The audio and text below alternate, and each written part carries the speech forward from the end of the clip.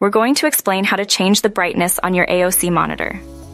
There are several ways to do this, depending on your monitor model and whether you prefer using the monitor's buttons, the operating system settings, or a combination of both.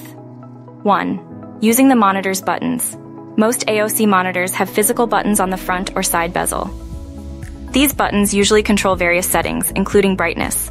Look for buttons labeled Menu, Brightness, or a sun icon. Press the Menu button to access the on-screen display, OSD. Use the directional buttons, up, down, left, right, to navigate to the brightness or a similarly named option.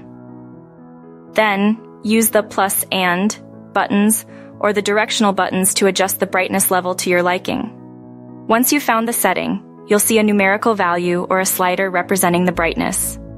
Increase the number or move the slider to the right to brighten the screen, and decrease the number or move it to the left to dim it. Press the menu button again to exit the OSD menu. The exact button layout and OSD navigation may vary slightly depending on your specific AOC monitor model, so refer to your monitor's user manual if you have trouble finding the brightness control. 2. Using your operating system.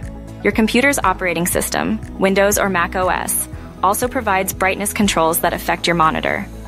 In Windows, you can typically adjust the brightness using the notification area in the system tray, usually located in the bottom right corner of your screen. Click on the battery icon, and you should find a brightness slider. Drag the slider to adjust the brightness. Similarly, on Mac OS, you can adjust the brightness via the Control Center, accessed by clicking the Control Center icon in the menu bar.